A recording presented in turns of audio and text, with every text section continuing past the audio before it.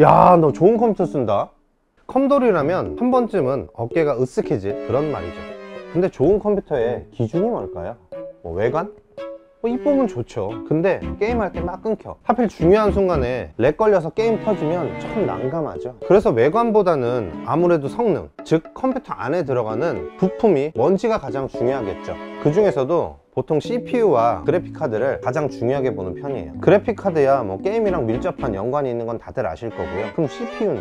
이 CPU는 정확히 뭘 하는 부품일까요? 도대체 뭐길래 이 코딱지만한 놈이 그래픽카드만큼 비싸고 좋은 PC의 성능을 판가름하는 기준이 되는 걸까요?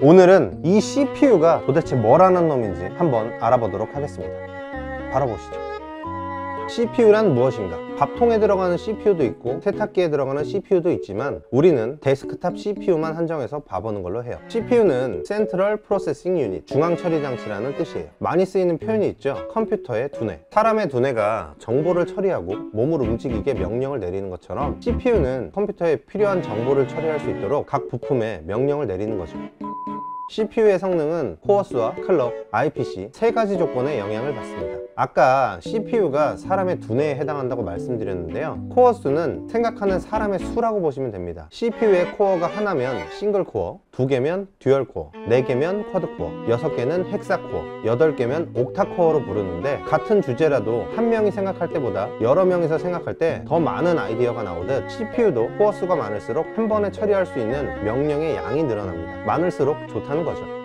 방금 설명드린 코어에 그림자처럼 붙어서 따라다니는 게 바로 thread라는 건데요. 간단히 말씀드리면 한 개의 코어를 반으로 나눠서 두 개의 thread로 인식시키는 거예요. 4코어 CPU를 8thread로 인식시켜서 multitasking에서 훨씬 여유를 줄 수 있죠. 물론 4코어 제품에서 hyper threading을 사용한다고 해서 8코어 제품을 쓰는 정도의 성능 향상을 기대할 수는 없지만 몇 년 전 한 커뮤니티에서 테스트한 자료에 따르면 30% 가까이 성능 향상이 있다는 결과가 나온 만큼 thread 수도 코어 수만큼이나 중요 중요하게 보셔야겠죠 다음으로 중요한 건 clock입니다. clock은 CPU가 동작하는 속도로 생각하시면 돼요. clock이 높을수록 CPU가 명령을 처리하는 속도가 빠르고 발열도 같이 높아져요. 보통 제조사에서 성능과 발열에서 적당히 균형을 잡아 기본 clock을 설정하는데 제조사에서 설정한 clock보다 더 높은 clock으로 한계 성능까지 끌어올리는 게 많이들 들어보셨던 오버클럭이에요. 오버클럭을 위해선 고가의 메인보드와 사제 쿨러가 필요하고요. 오버한 정도에 따라선 부품이 죽는 경우도 있기 때문에 많은 주의가 필요하지만 오늘날의 경우 국민오버라 불리는 수치가 있을 정도로 많이 대중화돼서 인터넷에 있는 값을 가지고 도전해 볼 수도 있습니다. 하지만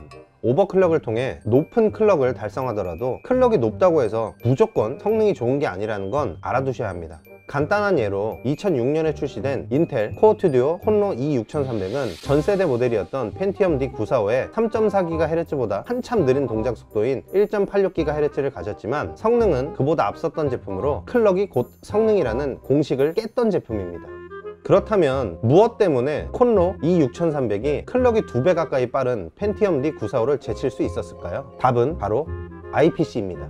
IPC는 instruction per clock 한글로 풀면 한 사이클당 필요한 명령어란 의미인데 어렵게 생각할 거 없이 clock당 성능 혹은 코어당 성능 정도로 생각하시면 됩니다 여기 두 CPU가 있어요. A CPU는 1clock당 1의 성능을 B CPU는 1clock당 1.5의 성능을 낸다고 할 때 두 CPU 모두 5clock인 상황에서 A는 5의 성능을 내지만 B는 7.5의 성능을 내겠죠 또 다른 경우 두 CPU가 똑같이 6의 성능을 내야 하는 상황일 때 A CPU는 6클럭이나 필요하지만 B CPU는 4클럭이면 되겠죠. 위에 예시에서 보셨듯 IPC가 좋으면 같은 클럭에서 보다 우월한 성능을 가질 수 있고 같은 성능을 내더라도 발열과 전력 소모가 이전보다 적다는 걸 의미합니다. 콘로 E6300이 2배 가까이 낮은 클럭에서 펜티엄 D945를 제칠 수 있었던 건 IPC의 개선 덕분이었던 거죠 일반적으로 CPU의 성능은 이 IPC와 위에 설명드린 클럭을 곱한 것으로 생각하면 되지만 IPC의 수치는 여러 가지 이유로 정확하게 측정하는 것은 불가능하고 제조사에서도 굳이 공개하고 있지 않은 상황이라서 CPU의 성능을 확인하는 벤치마크 프로그램을 이용해 수많은 CPU들의 성능을 수치화해서 비교하는 방식들을 많이 사용하고 있고 제품의 세대가 바뀌면 IPC도 개선이 되니 세대로 구분하자.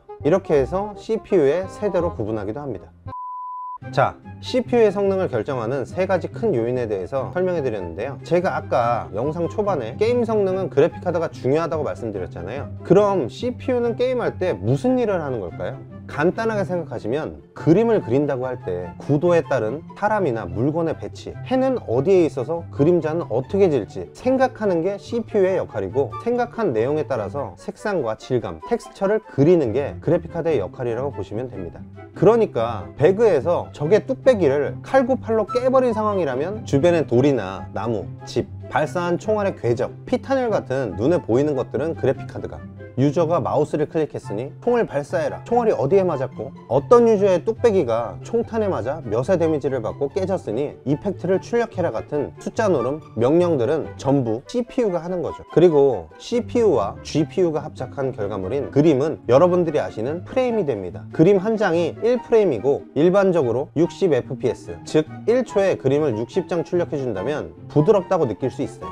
근데 여기서 굉장히 중요한 게 있어요 만약 CPU나 GPU 중 어느 한쪽이 다른 한쪽에 비해 성능이 많이 밀리게 되면 다른 한쪽의 성능도 제대로 뽑지 못하게 되는데요. 이걸 병목 현상이라고 부릅니다. 저쪽에서 주는 데이터는 많은데 이쪽에서 처리할 수 있는 양은 적으니 낮은 성능으로 하향 평준화가 돼버리겠죠. 막 이건 뭐 그냥 뭐 그런 게 있다 수준으로 정도만 알아주시면 될 것 같아요. 실질적으로 우리가 CPU를 사야 할 땐 어떤 회사의 CPU를 사야 할지도 중요하단 말이죠. 자 CPU를 만드는 회사는 어디일까요? 인텔과 AMD 두 군데가 딱 생각나실 텐데요 뭐 사실상 우리가 생각할 회사는 그 둘밖에 없다고 보시면 됩니다 먼저 인텔은 어떤 회사일까요? 1968년 페어차일드 반도체를 떠난 고든 무어와 로버트 노이스가 설립한 회사로 창립 초기엔 메모리 반도체 사업에서 꽤 짭짤한 수입을 올렸지만 일본 반도체 회사들의 추격으로 사업성이 떨어지자 CPU 업계로 눈을 돌렸습니다. 286, 386, 486을 만들어 큰 성공을 거두었고 2006년 발표한 콘로부터 시작해 2008년 발표한 1세대 코어 i 시리즈 린필드와 불후의 명작이라 불리는 2세대 샌디브리지까지 오늘날 CPU 시장에서 확고한 입지를 가진 거물급 회사죠. 게임할 땐 인텔이라는 말이 정론으로 받아들여질 정도로 어디 하나 빠지지 않는 성능으로 승부하는 회사지만 문제점도 여럿 있습니다. 컴퓨터에 관심이 없어도 한 번쯤 들어보셨을 CPU 보안 이슈 사건과 세대가 교체될 때마다 바뀌는 메인보드 소켓 때문에 업그레이드가 어려운 점 위 두 문제와 별개로 독점에 의한 과도한 가격 정책과 몇 년째 공정 개선이 없다는 등의 이유로 많은 사람들의 반감을 산 그리고 현재도 사고 있는 회사이기도 합니다. AMD가 연속된 삽질로 2010년대에 들어서 시장 경쟁력을 완전히 잃어버렸기에 인텔 외엔 선택지가 없었던 분들도 분명히 있었을 겁니다 그러면 이제 AMD 얘기를 해볼까요? 1969년 페어차일드 반도체를 떠난 제리 샌더스가 설립한 AMD는 인텔에 비하면 시작이 많이 조촐했습니다. 1974년 발표한 AMD의 첫 CPU AM9080은 인텔의 8080 CPU를 역설계한 제품이었어요. 근데 역설계를 무려 회로의 사진만 가지고 진행했다고 하니 좀 대단하죠?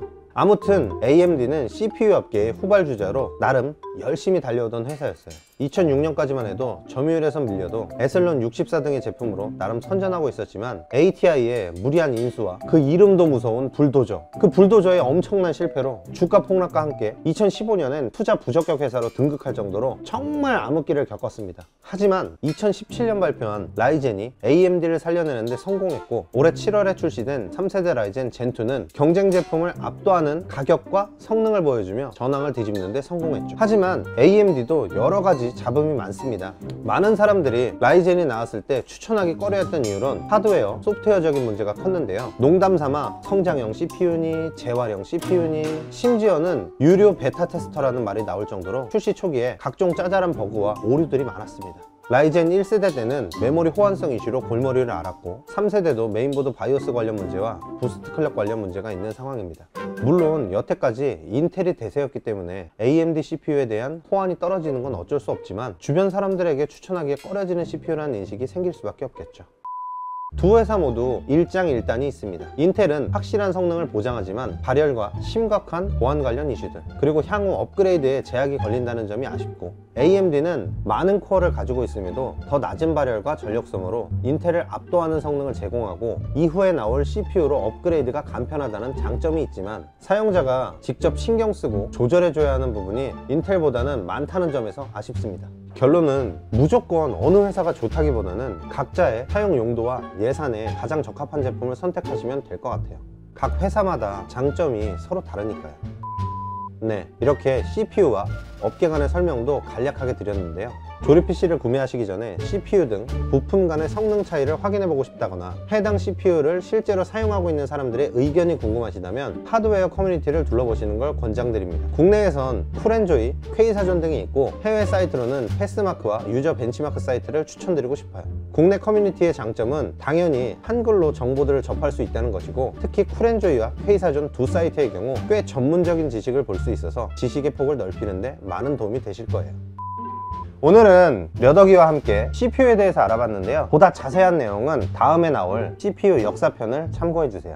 저희가 오늘 준비한 영상은 여기까지고요. 영상이 마음에 드셨다면 구독과 좋아요, 알림 설정 부탁드려요. 다음 영상에서 다시 만나요. 안녕.